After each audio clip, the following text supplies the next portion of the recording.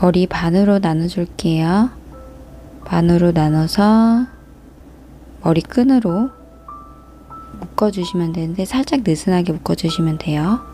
밑에 머리 반 나눠서 그대로 위로 올려서 끈 묶는 방법으로 묶어주시면 돼요. 묶어서 느슨하지 않게 최대한 잡아당겨서 머리 가까이 잡아주세요. 풀리지 않게.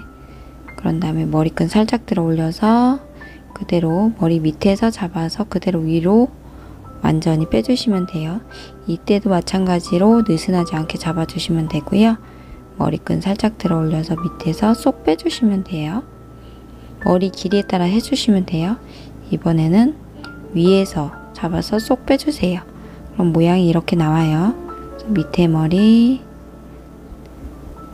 전체 모아서 머리끈 살짝 들어 올려서 살짝 접는다는 느낌으로 잡아서 쏙 빼주시면 돼요.